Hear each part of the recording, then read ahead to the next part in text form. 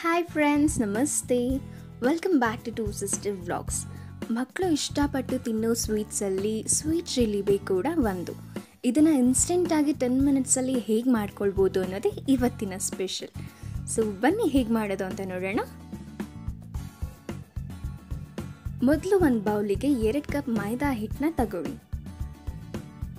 ಇದಕ್ಕೆ ಮೂರು ಸ್ಪೂನ್ ಆಗುವಷ್ಟು ಮೊಸರನ್ನ ಹಾಕೊಳ್ಳಿ. ಇದಕ್ಕೆ ನೀರು ಆ್ಯಡ್ ಮಾಡ್ಕೊಂಡು ದೋಸೆ ಹಿಟ್ಟಿನ ಹದಕ್ಕೆ ಕಲಿಸ್ಕೊಳ್ಬೇಕು.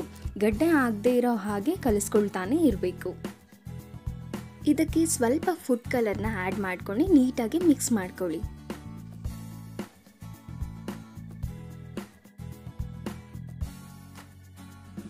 ಇಷ್ಟು ಕನ್ಸಿಸ್ಟೆನ್ಸಿ ಬಂದರೆ ಸಾಕು. ಇನ್ನೊಂದು ಕಡೆ ಪಾಕಕ್ಕೆ ರೆಡಿ ಮಾಡ್ಕೊಳ್ಳೋಣ. ಈಗ ಒಂದು ಪ್ಯಾನಿಗೆ ಎರಡು ಕಪ್ ಸಕ್ಕರೆನ ಹಾಕೊಳ್ಳಿ.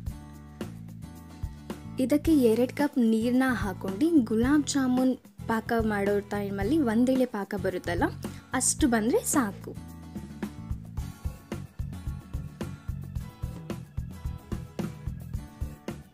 ಈಗ ಇದಕ್ಕೆ ಸ್ವಲ್ಪ ಫುಡ್ ಕಲರ್ನ ಹಾಕೊಳ್ತಾ ಇದ್ದೀನಿ. ಜೊತೆಗೆ ನಾನಿಲ್ಲಿ ಒಂದು ಅರ್ಧ ಸ್ಪೂನ್ ಲೆಮನ್ ಜ್ಯೂಸ್ನ ಕೂಡ ತಗೊಳ್ತೀನಿ. ಯಾಕೆಂದರೆ ಪಾಕ ತಣ್ಣಗಾದ್ಮೇಲೆ ಸಕ್ಕರೆ ಸಕ್ಕರೆ ಥರ ಗಡ್ಡೆ ಗಡ್ಡೆ ಆಗದೆ ಇರಲಿ ಅಂತ. ಈಗ ಪಾಕ ರೆಡಿ ಆಗಿದೆ. ಈಗ ಹಾಲು ಪ್ಯಾಕೆಟ್ನ ಕಟ್ ಮಾಡಿಕೊಂಡು ಅದಕ್ಕೆ ಜಿಲೇಬಿ ಹಿಟ್ಟನ್ನ ಹಾಕೊಳ್ಳಿ. ನೀವು ಬೇಕಾದರೆ ಸಾಸ್ ಬಾಟಲ್ನ ಕೂಡ ಇದಕ್ಕೆ ಯೂಸ್ ಮಾಡ್ಬೋದು. ಅದರಲ್ಲಿ ಹೇಗೆ ಮಾಡೋದು ಅಂತ ಕೂಡ ನಾನು ಈ ವಿಡಿಯೋದಲ್ಲಿ ನಿಮಗೆ ತೋರಿಸ್ತೀನಿ. ಈಗ ಕಾಯ್ದಿರೋ ಅಂಥ ಎಣ್ಣೆಗೆ ಹೈ ಫ್ಲೇಮ್ ಇಟ್ಕೊಂಡು ಜಿಲೇಬಿನ ನೀಟಾಗಿ ರೌಂಡ್ ಶೇಪಲ್ಲಿ ಹಾಕೊಳ್ಳಿ. ಜಿಲೇಬಿ ಮಾಡೋ ಟೈಮಲ್ಲಿ ಹೈ ಫ್ಲೇಮಲ್ಲಿ ಎಣ್ಣೆ ಕಾಯ್ದ ಮೇಲೇ ಹಾಕಬೇಕು. ಇಲ್ಲಾಂದರೆ ಜಿಲೇಬಿ ಮೇಲೆ ಎದ್ದೇಳೋದಿಲ್ಲ. ಈಗ ನೋಡಿ ನಾನು ಸಾಸ್ ಬಾಟಲ್ನಲ್ಲಿ ಕೂಡ ಹೇಗೆ ಹಾಕೊಳ್ಳೋದು ಅಂತ ನಿಮಗೆ ತೋರಿಸ್ತಾ ಇದ್ದೀನಿ.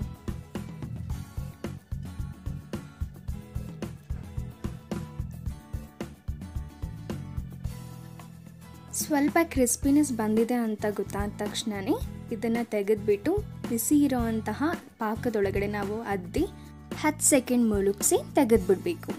ಪಾಕ ಬೆಚ್ಚಗಿದ್ರೆ ಮಾತ್ರ ಜಿಲೇಬಿ ಪಾಕನ ಹೀರ್ಕೊಳ್ಳುತ್ತೆ. ಸೊ ಇಷ್ಟೇ, ಎಷ್ಟು ಸಿಂಪಲಾಗಿ ಕ್ರಿಸ್ಪಿಯಾಗಿ ಸ್ವೀಟ್ ಆಗಿರೋಂತಹ ಜಿಲೇಬಿ ರೆಡಿ ಆಗುತ್ತೆ. ಇದಕ್ಕೆ ಜಸ್ಟ್ ಒಂದು ಟ್ವೆನ್ ಮಿನಿಟ್ಸ್ ಇದ್ದರೆ ಸಾಕು. ಇನ್ಸ್ಟೆಂಟಾಗಿ ಮಕ್ಕಳು ಕೇಳಿದಾಗ ಮನೇಲೇ ಮಾಡ್ಕೊಳ್ಬೋದು. ಈ ವಿಡಿಯೋ ನಿಮಗೆ ಇಷ್ಟ ಆಗಿದೆ ಅಂದರೆ ಲೈಕ್ ಮಾಡಿ. ನೀವಿನ ನಮ್ಮ ಚಾನಲ್ಗೆ ಸಬ್ಸ್ಕ್ರೈಬ್ ಆಗಿಲ್ಲ ಅಂದರೆ ಸಬ್ಸ್ಕ್ರೈಬ್ ಮಾಡಿ. Thank you